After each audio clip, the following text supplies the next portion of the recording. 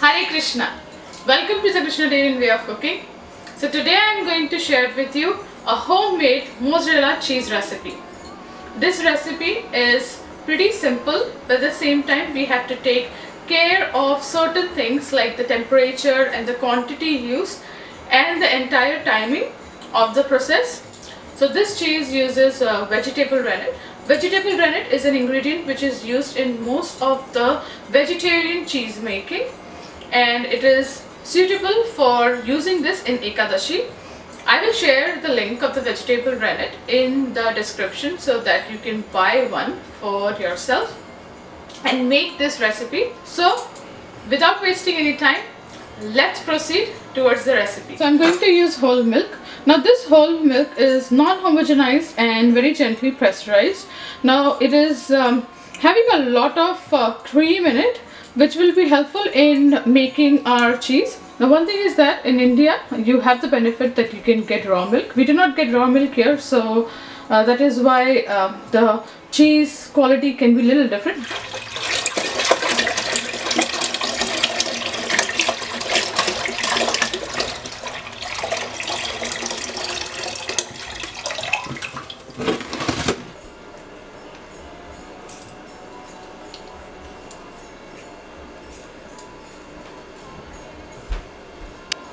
So here I have used around one and a half teaspoon of citric acid which is also called as Nimbu ka Phool.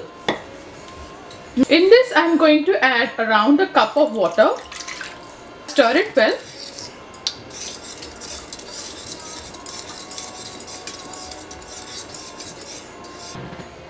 Now I'm going to add a tablespoon of oil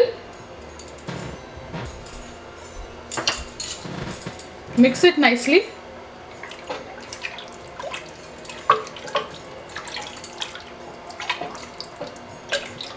You can either use coconut oil or you can even use sunflower oil.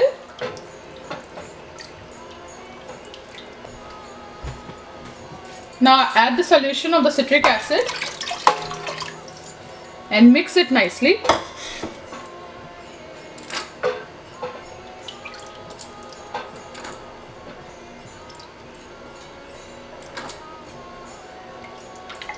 make sure to mix it nicely.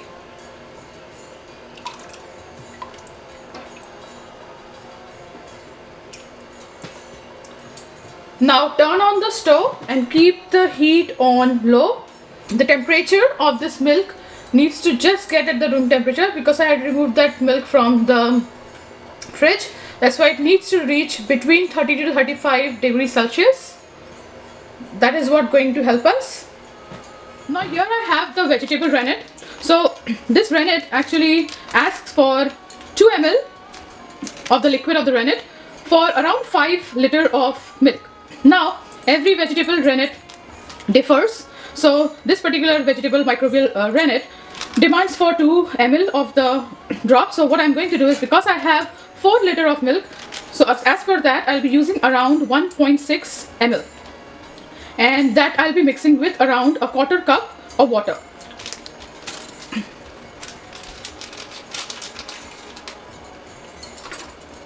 To be on the safer side, I'm going to use around 1.5 ml because uh, adding too much rennet can make your cheese too rubbery, which you do not want. So I'm going to pour this in.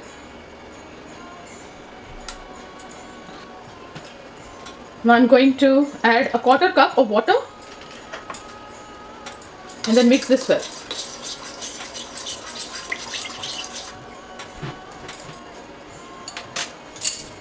Now let it set because this particular rennet asks for setting for 5 minutes. If your rennet doesn't ask that then you can directly mix it with the milk. Now I'm going to add this rennet mixture and then mix for a minute.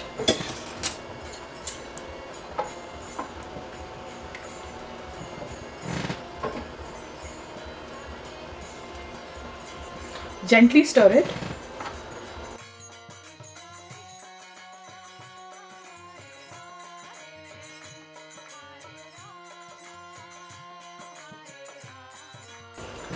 So once it reaches the desired temperature, then I'm going to put this pot on a different element and then keep it resting for around 45 minutes.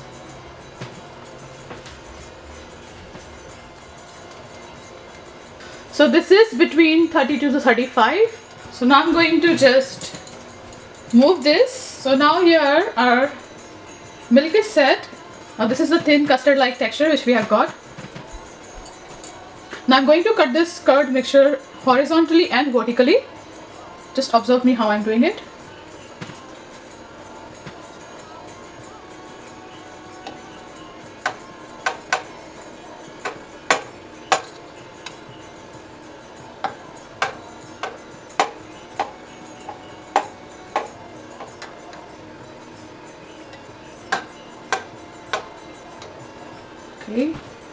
Horizontal.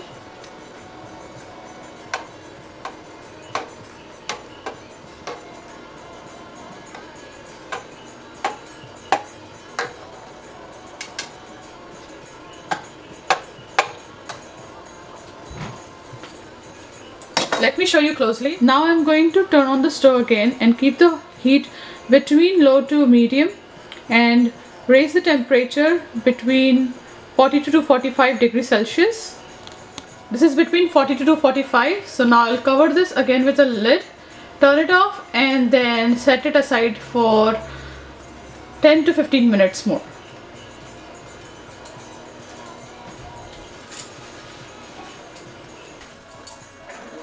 So now I'm going to remove this curdled mixture in a strainer and I'm going to keep a bowl here. So this bowl is here.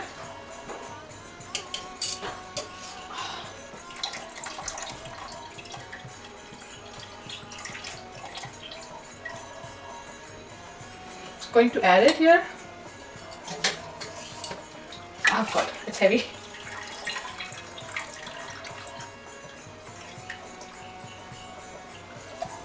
is I'm going to let this water, uh, the whey drip down and then again put this whey mixture in here and I'm going to heat this whey now. Now I'll show you how to heat it and what all to add in it.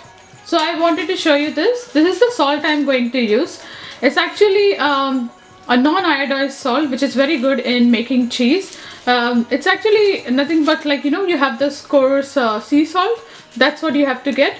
Um, I bought this online. I'll try to put the link of this um, in the description. But yes, this salt will be perfect for using it in the cheese. And using a non-iodized salt mixture really helps. So I'm going to add around a tablespoon to one and a half tablespoon of salt.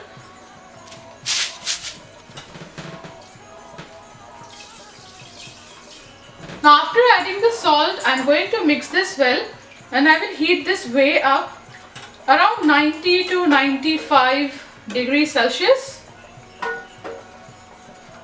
You can even use a spatula or any kind of spoon and just press on this curd so that any excessive whey can just see how much whey has collected.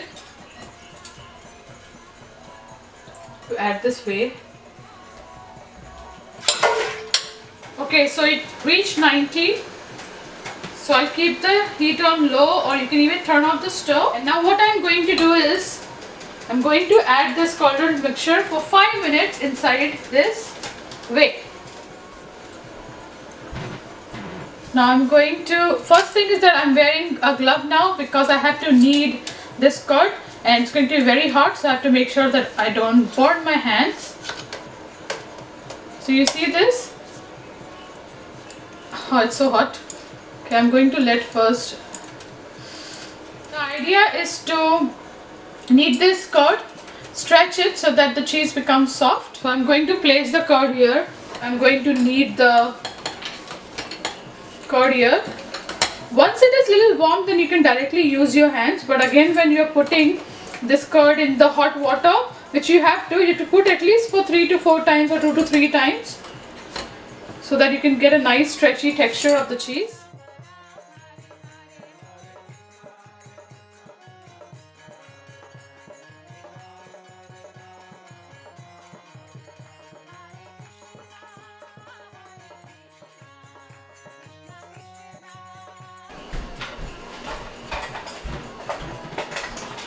Now to set the firmness of this cheese, going to add few ice cubes.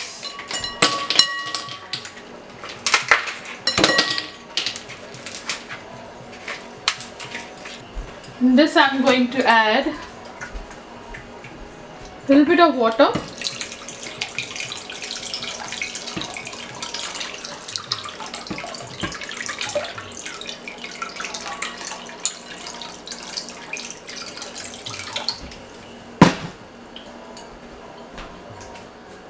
Now in this I'm going to keep the cheese and let it set firm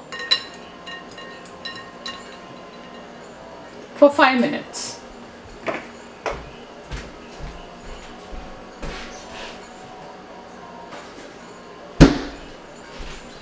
So let me give you some tips regarding this cheese. So you have to make sure all the temperatures which I mentioned that is followed properly. You know, uh, I've made a lot of times the cheese at home.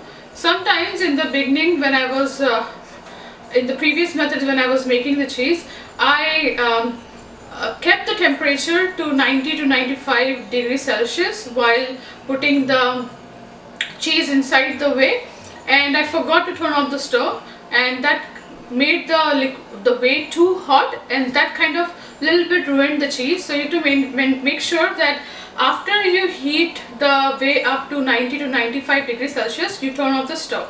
Then you just uh, knead the curd then dip it then remove it. Only the first time you have to put the curd inside for 5 minutes. And after that when you are kneading you just have to put for 5 uh, like few seconds remove it out and then again knead it then again dip it. It depends on you how many times you want to put it in the whey and want to knead it because that is going to help you. That is nice uh, soft and you know soft, tough soft texture cheese. Now now if you want like a little firmer cheese like um, which is not too melty and which can just go on the pizza and then along with the regular cheese it can just be a little bit like that cheese chunk. Then you can add more rennet. Like I used around 1.5 ml uh, drops. You can use around 2 ml so you can do that.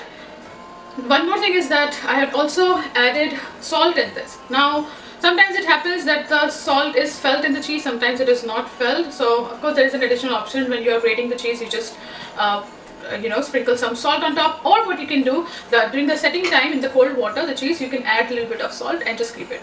Many times many people um, keep the cheese in that same uh, cold water just inside there in the fridge and sometimes some keep it in the whey so it is all up to you how you want to do it. So that's it.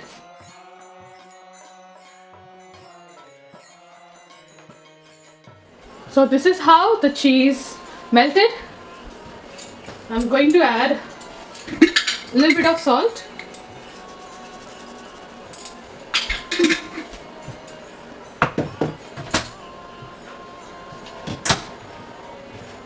And also I'm going to add a little bit of pepper.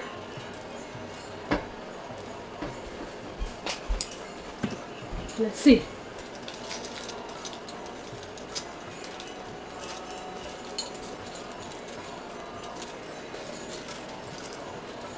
So the cheese turned out pretty good.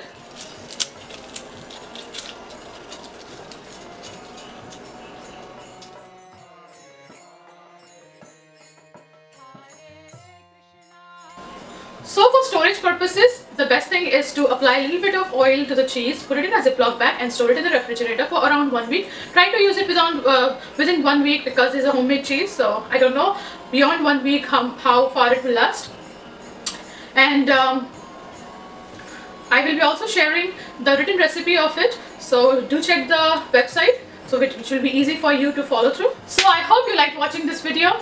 Any questions, any queries, you can write to me in the comment box. I'll solve your problem with that. Make sure to buy a proper vegetable rennet. Sometimes the rennets used are not proper and that just ruins the cheese. So use the right vegetable rennet. Little bit of experiment here and there and then you can get the perfect cheese. So if you've not subscribed to the channel and you're new to the channel, then please do so. Like and share and comment. And thank you so much for watching. Stay tuned for more such recipes. Thank you very much. Hare Krishna.